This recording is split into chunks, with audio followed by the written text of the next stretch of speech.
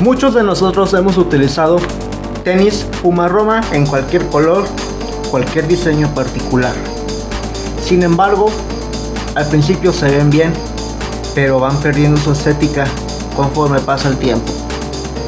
Hoy te voy a mostrar algunos aspectos negativos, pero que no restringen el buen ver de unos Puma Roma. Este modelo es un Puma Roma Basic y como puedes ver aquí el precio me costaron 1299 pesos mexicanos de estar en 1499. Sin embargo, y depende de la temporada, puedes encontrarlos o más caros o más baratos. El modelo que te voy a mostrar es el siguiente.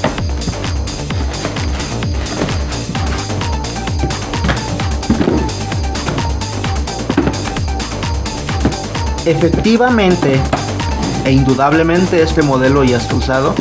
Obviamente no lo compré usado. Le quise hacer un review posterior porque te he mostrado algunos Puma desde un principio.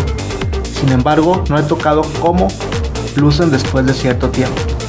Y bueno, lo primero que no me gusta de Puma Roma es de que en la parte esta, donde doblan los dedos del pie, se arruga muy fácilmente. De pronto esto se levanta mientras que esto se hunde y se arruga. Y, así era parecer como si esto fuera un calzado de fútbol cuando no lo es. Para nada es de fútbol. Sus cintas están un poco más gruesas y con otra textura diferente. Esta parte blanca suele ensuciarse muy fácilmente y aunque lo, aunque lo limpies con un paño húmedo, van a existir ciertas partículas de polvo e incluso con el tiempo ya va a estar oscuro. No es imposible blanquear, sin embargo es muy notorio.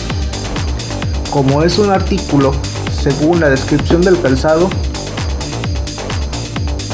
aquí no dice, como puedes ver ahí la descripción del material ya está gastado, ya no dice. Sin embargo pareciera que es de piel y observa ahí los detalles, sin embargo, lo que te comentaba es que se arrugan muy fácil. De esta parte. Es un modelo muy sencillo que lo puedes combinar con casi cualquier cosa. Negro, con blanco y detalles en color gris. Sus agujeros para cintas 1, 2, 3, 4, 5, 6, 7 no son específicamente para absorber impactos, sin embargo, Puedes correr con ellos a pesar de esta limitante. Puedes hacer día de pierna porque sus suelas es muy muy dura. Aquí puedes ver cómo terminan después de un día casual. Muy sucio. Lo normal. Pero aquí al menos yo anduve en tierra y pues se nota.